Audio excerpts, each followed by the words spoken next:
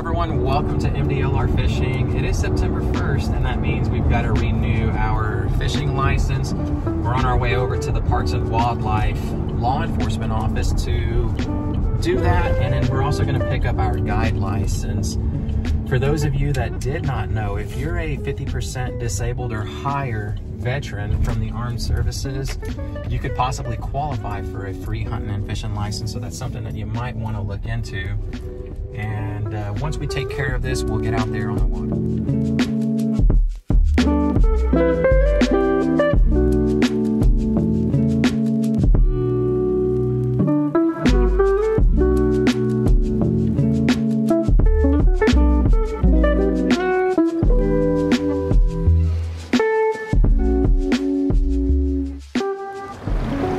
There we go. That's the beauty of this kayak right here, putting it on autopilot so I can do a, uh, a quick update. The area that we're going to, it's a bridge that connects the mainland to Galveston Island. It's known as the Causeway. And right inside the center of that bridge is the channel that the intercoastal, a lot of the barges go through and some of the boats that are going back and forth to uh, go from West Bay on over into East Bay and transport the cargo all the way up into the Houston Ship Channel. That area is known to have some very strong currents. Uh, I experienced it firsthand whenever a person jumped off of the actual causeway and uh, ended up saving that person's life. Um, they weren't in the right state of mind, but uh, yeah, experiencing it firsthand in a pedal kayak it was so hard to be able to actually keep up with the current and make it safely over to the pilings so that we could lift the person out of the water. I say we because there was two other kayakers out there with me and uh, if it wasn't for them we probably would have gotten washed out.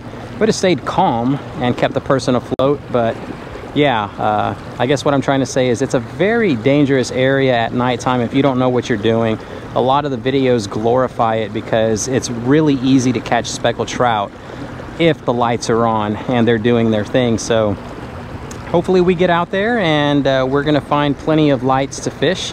That's gonna make our job easy to get a quick limit of trout.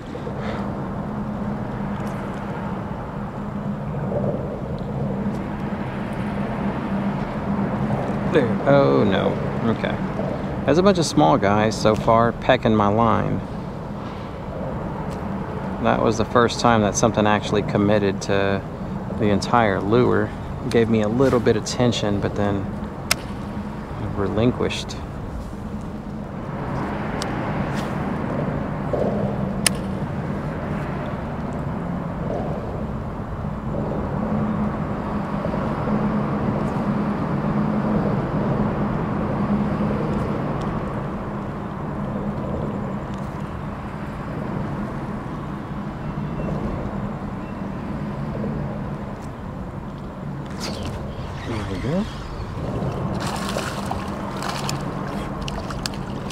Yeah, that's kind of what I thought was doing this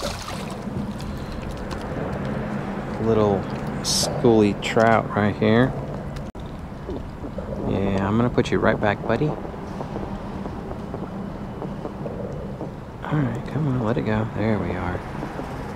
These guys are fattening up. Easy to come out here and get a good meal because these lights attract all that bait. We've been getting tagged a lot. It's just been a very small bite though. Like a tap, tap, tap. And if you try to set the hook, there, there's nobody home. So you almost want to just wait till you feel that tension before setting the hook. Otherwise, you'd be setting the hook all night long. Okay. This guy's got a little bit more weight, but then he just gave up all at the very last minute. Same size. Cookie cutter. Thank you, buddy.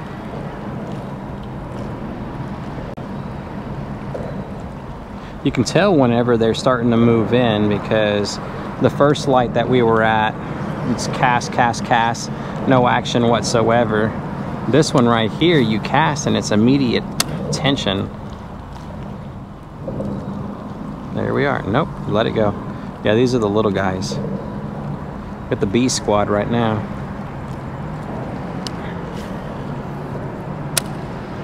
So one of the things that you want to make sure, like if you do come out here and fish this area, you just got to be careful with uh, letting your lure go all the way down towards the bottom. There's so many snags that you're not going to get anything back. And don't even think about anchoring down here. This guy might be a keeper. I'll hold him into the light here in a second. Yeah, that's most definitely a keeper right there. 15 and a quarter. So uh, let's take care of this guy and at least we got some lunch in the boat now. These currents are really like ripping through right now, y'all. Cast over here, son. They're like biting on this side. Okay. Oh my gosh. Dude.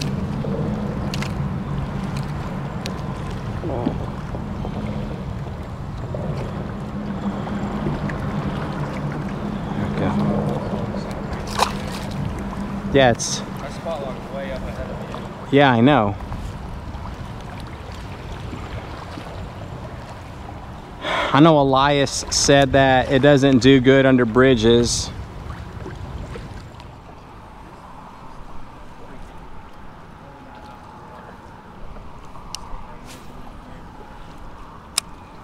job, gosh, that's a new CP on the day, y'all. 25 inch speckled trout. Good job, son. Baby, oh, baby. That is exciting to see, guys. That makes that's my biggest trout all year. There we go. There's another keeper right there.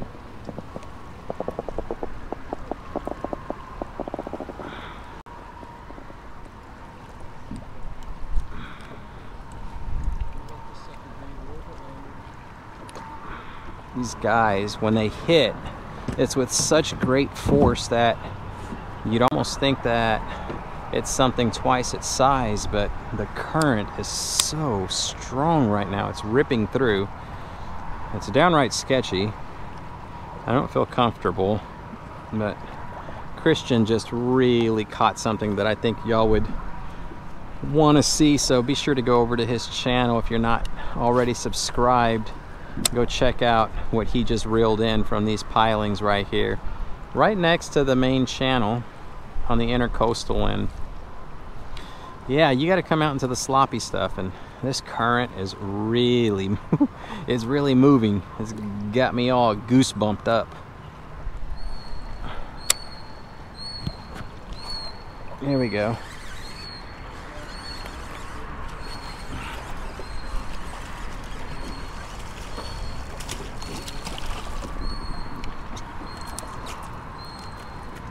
It's back-to-back cast right there. This one looks like he's gonna make the cut though.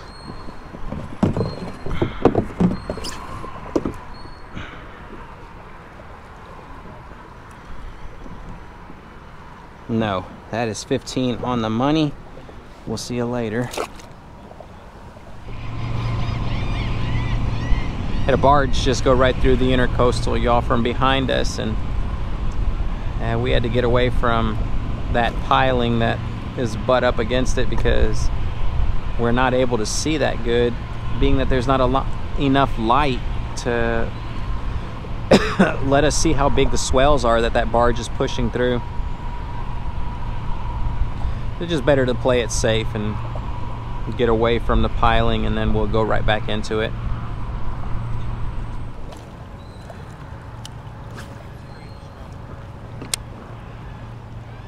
There we are. First cast right after the barge. Let me hit my Spotlock.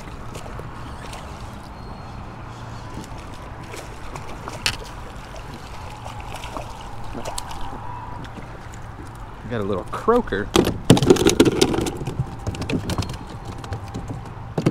Chill out.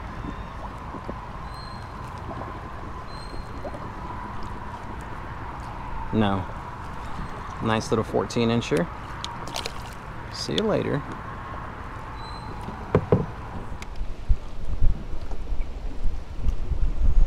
Shoot, man. It is tough. It's one thing to do it at nighttime. It's another thing to do it at nighttime and very rough swells.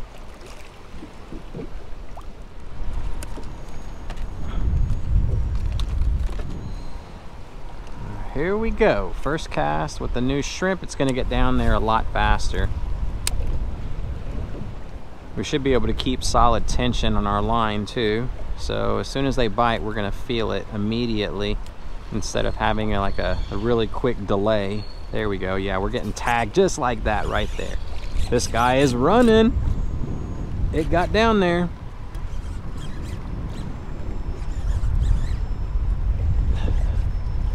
All right.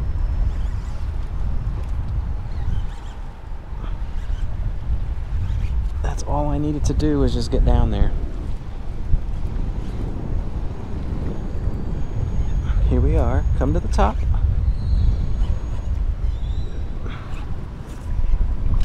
No, stay away from my motor. What is, is that a ladyfish? You, that is a ladyfish. That is a big ladyfish too. You turd. Dude, get over here. I got a massive ladyfish on. Yeah. This thing is huge.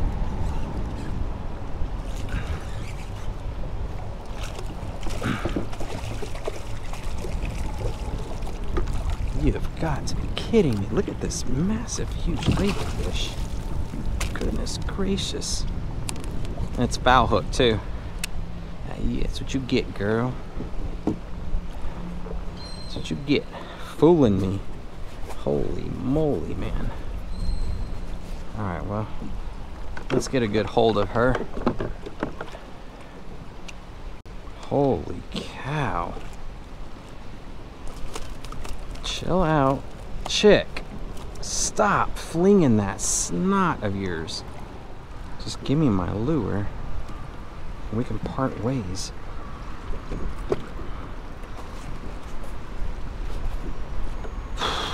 Man.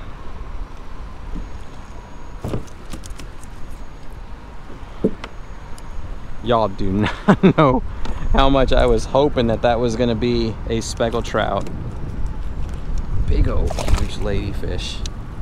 So long, shark bait.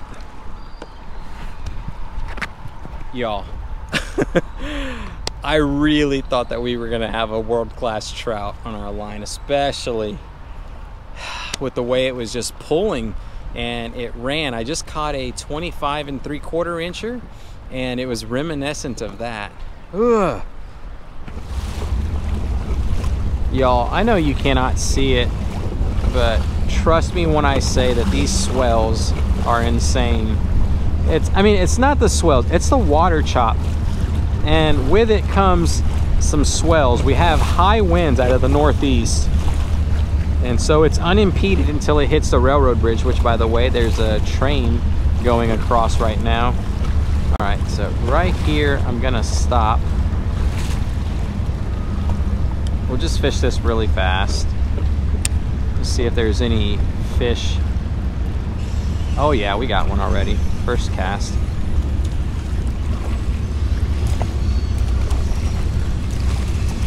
He's a little buck. He might be a keeper. I don't know. Bro, chill out, dude. Like, oh my gosh. Yeah, I don't know, maybe 14. I gotta watch the the pilings. Huh? I got a fish. No, small. All right, let's turn our motor back on and head right back over there. I'm done, son. All right, y'all. Uh, let's just go ahead and retreat from this because I figured the closer we got towards land, and out from the middle of this bridge, the swells would have calmed down, but they have only like gotten worse. Maybe it's just because of the land and it, it's shallower over here. So you know how the, the whole thing with the beach, the water is nothing but swells until it starts to crest because of the sandbars and stuff like that. The the land that's underneath. Yeah, I don't know what I'm trying to say, but what I do know is that I'm just trying to get the heck out of here. I got to get away from this stuff. We got to get to some smoother water. Go hit a couple of lights over at the island, and uh, after that, we're just gonna call it a night. We got a good bag so far, a nice one.